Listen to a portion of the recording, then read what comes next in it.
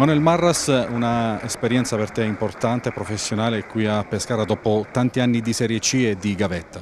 Sì, assolutamente è un'occasione e per questo devo ringraziare anche il mister perché mi ha voluto fortemente e sicuramente spero di coglierla al massimo possibile. Ecco, Pillon una settimana fa ha detto tra i giocatori se mi chiedete una sorpresa io dico Marras.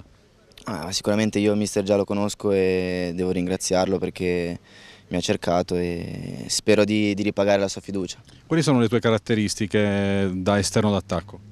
Ma la velocità, l'uno contro uno, sicuramente sono queste le caratteristiche principali.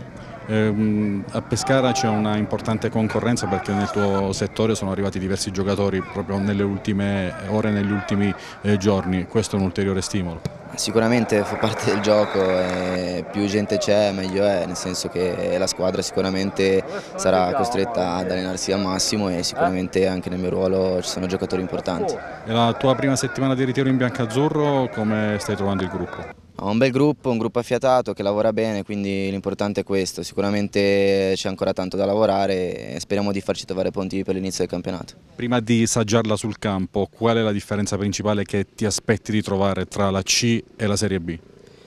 Ma sicuramente magari la velocità del gioco e la tecnica perché tante volte magari anche in Serie C viene meno.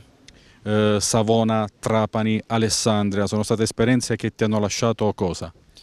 Ma sono cresciuto sotto tanti punti di vista, sicuramente sotto il piano mentale, il piano fisico e sicuramente giocare in questi campionati ti fa crescere.